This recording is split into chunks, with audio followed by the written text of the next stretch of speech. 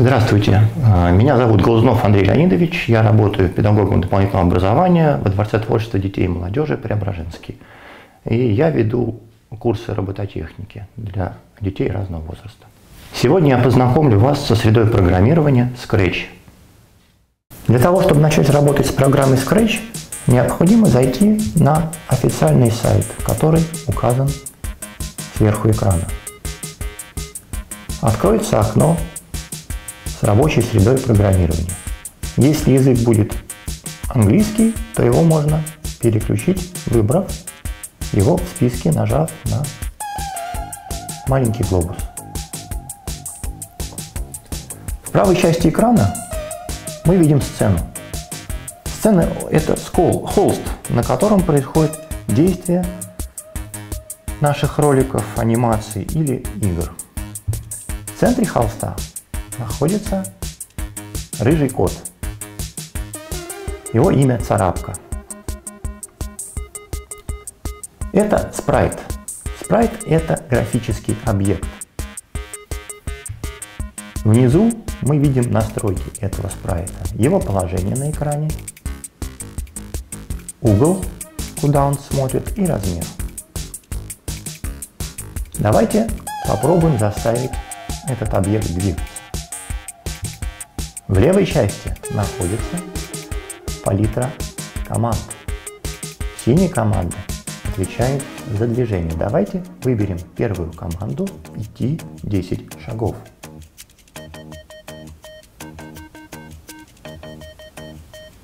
Нажмем на эту команду и посмотрим, что код передвинется на небольшое расстояние. Мы можем размещать его в любом месте сцены.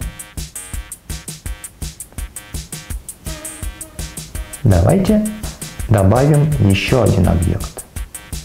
Для этого выберем готовый объект из нашей библиотеки. Пусть это будет баскетбольный мячик.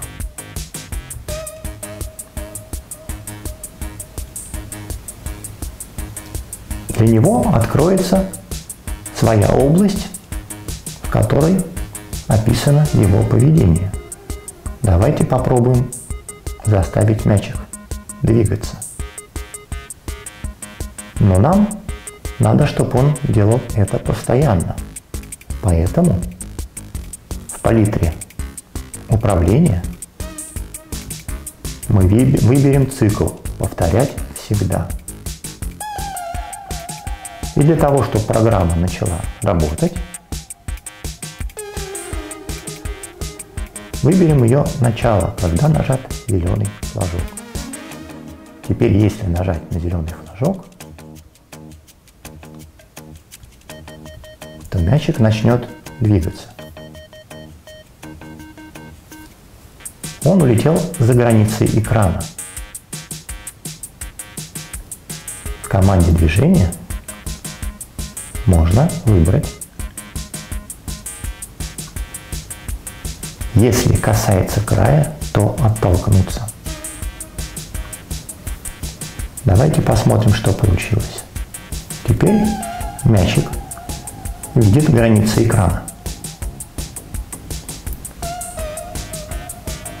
Красный кружочек останавливает выполнение всех наших скриптов. Что мне хочется сюда добавить?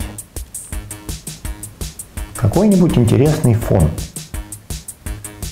Управление фоном происходит с правой стороны на панели сцены. Давайте выберем что-нибудь связанное со спортом. Баскетбольная площадка. Давайте попробуем.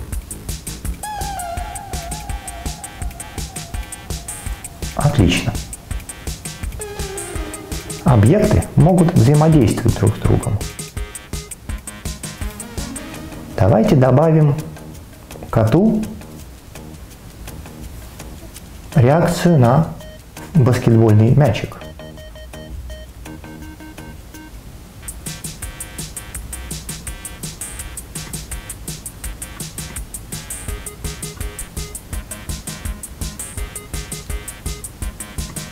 Используем цикл всегда и используем условия «если».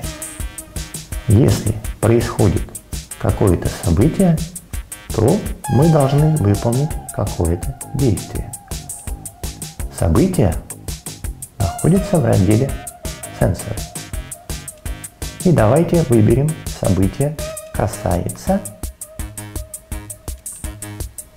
И здесь выберем баскетбольный мяч. Если код касается баскетбольного мяча, то ну, давайте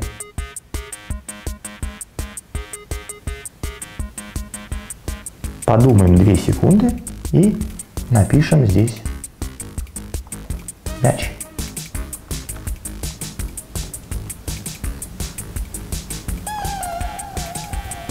Давайте попробуем. О, кот у нас побежал.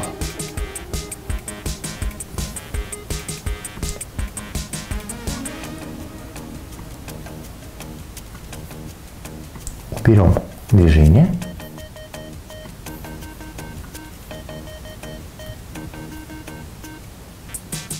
Теперь кот замечает, когда до него долетает мяч. Это и многое другое вы можете сами попробовать сделать. А на этом все. Всего доброго.